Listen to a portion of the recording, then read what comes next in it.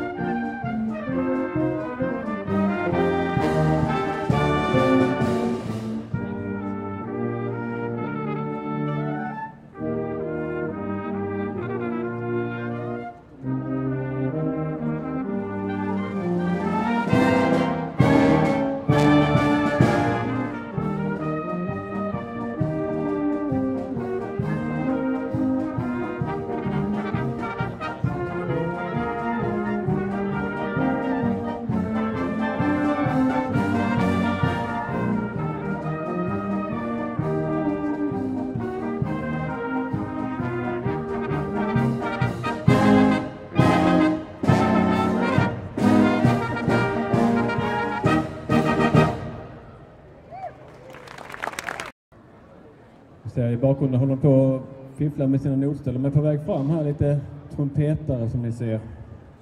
Vi ska alltså låta en del av vår förträffliga trumpetsekvens få känna färg ordentligt nu. Vi får fram tre solister som ska förgylla vår eftermiddag här med sina smekande toner eller vassa tunga, vad man nu föredrar. Från er höger Caroline Persson, Samuel Zachrisson och Joel Klarén ska framföra Bygglovs Holiday skriven av Leroy Anderson.